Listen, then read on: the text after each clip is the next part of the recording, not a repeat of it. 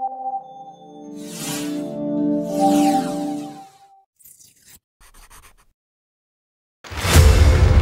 včeraj imamo Slovenci svojo državo. Od včeraj živi večinski del slovenskega naroda v lastni, samostojni in neodvisni državi.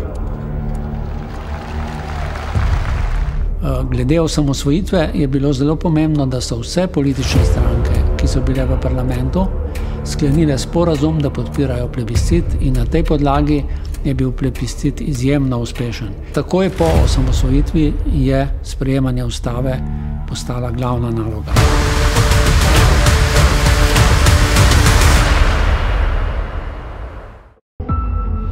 Pisanje ustave je potekalo v Podvinu, v gradu Podvin in sicer v prvem tednu septembra 1990. Večji del ustave je bil napisan takrat, delali smo po štirinajst ur na dan, ampak na ta način se nam je to nekako izšlo. Ampak ob tem seveda je treba poudariti, da smo se že prej pripravljali na to. Spornih zadev pravzaprav med nami ni bilo kaj dosti. Mi smo se veliko ukvarjali s človekovimi pravicami in svoboščinami, niti ne toliko, da bi med nami prihajalo do spornih vprašanj, ampak bolj je bilo vprašanje, kakšni meri urejati ustavi pravice in svoboščine. Mi smo takrat še nekje v sredini septembra tisoč devetsto devetdeset, ko Slovenija še ni bila samostojna država, oddali osnutek ustave, predali smo ga ustavni komisiji, potem se je začela procedura, najprej v znotraj ustavne komisije, kar je trajalo več kot leto, pa potem v v treh zborih, treh zborih celo skupščine.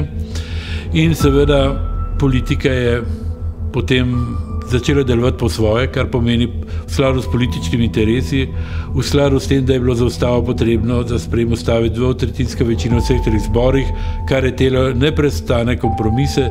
To je bilo izjemno naporno delo, ki ga je profesor Bučar res izjemno dobro opravil.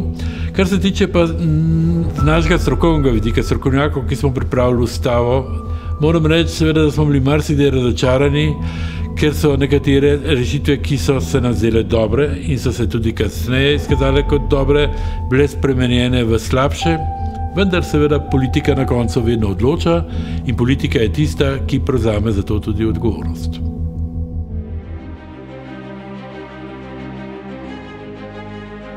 Priprave na sprejemanje nove slovenske ustave so tekle že dolgo časa v različnih civilno-družbenih organizacijah. Delo je bilo organizirano tako, da je glavno besedo imela ustavna komisija, na čelu katere je bil doktor France Bučar, pa tudi posamezni drugi člani smo vodili posamezne podskupine.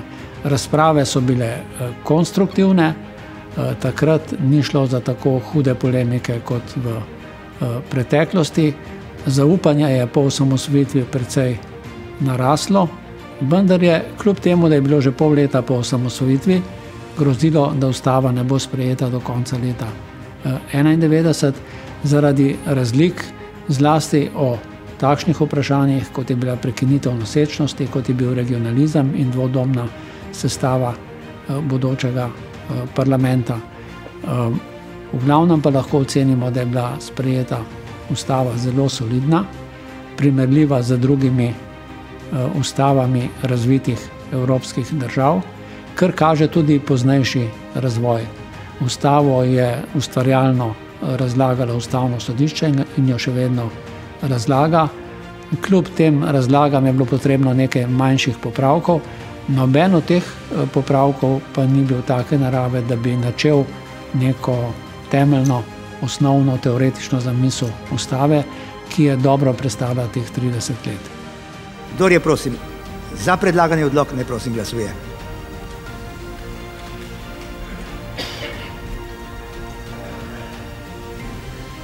Dvesto sedem. Dvesto sedem. Kdo je, prosim, proti? Šest. Šest proti. Vzdržani? Sedem. Sedem vzdržanih. Na podlagi tega rezultata ugotavljam, da je Skupščina Republike Slovenije na skupni seji vseh zborov triindvajsetega decembra devetnajststo enaindevetdeset sprejela odlok o razglasitvi Ustave Republike Slovenije in s tem razglasijo Ustavo Republike Slovenije. Ta ustava začne s tem veljati.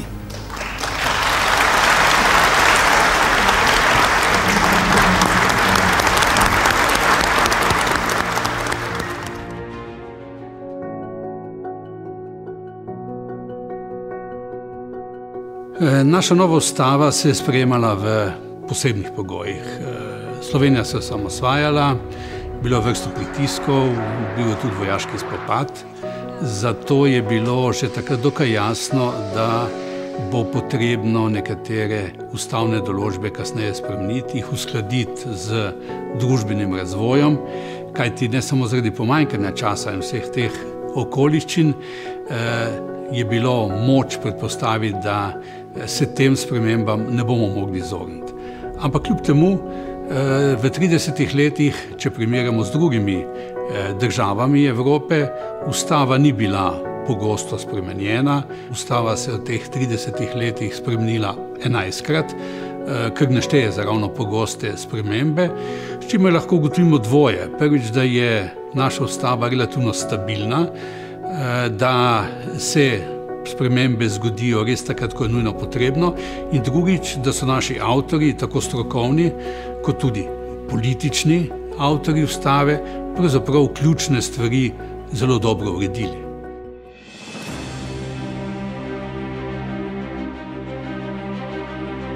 Uradni list je prvo ustavo Republike Slovenije izdal leta 1992. Seveda, 25. junija 1991 je bila sprejeta najprej ustavna listina o samostojnosti in neodvisnosti Republike Slovenije kot temeljni dokument za kasnejšo izdajo ustave. Eh, uradni list je že takrat eh, v taki eh, manjši sivi knjižici izdal to listino, ki je bila tudi podlaga kasneje za izdajo knjižnega dela ustave. Kot je znano, je dne 28. decembra v uradnem glasilu ustava bila objavljena Eh, in takoj v začetku leta 1992 je uradni list izdal tudi knjižno obliko ustave. Uradni list je od leta 1992 izdal 27 izdaj eh, ustave Republike Slovenije, od tega kar 8 v drugih jezikih.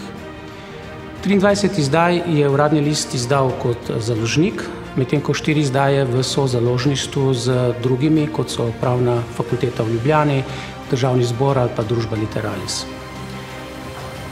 12 izdaj od tega je bilo, eh, če tako rečemo, unikatnih, celovitih, medtem ko 11 izdaj je bilo ponatisov ali pa dopolnitev ponatisov. Od eh, tujih jezikov eh, smo izdali štiri v angliškem jeziku, dve v italijanskem jeziku in po eno v nemškem in mačarskem jeziku. Če pogledamo tudi razpršenost izdaje ustave od leta 1992 pa do danes, lahko ugotovimo, da je bilo v teh 29 letih eh, praktično samo 10 posameznih let, ko uradni list eh, ni izdal eh, ponatisa ustave. Uradni list je vedno spremljal spremembe, ki so se dogajale in temu sledil ažurno in poskušal v najkrajšem možnem času izdati tudi spremembe v knjižni obliki. Uradni list je vedno sledil spremembam in sproti izdajal posodobljene verzije, ter na ta način pravzaprav poskrbel, da so se eh, ti teksti tudi približali širši javnosti.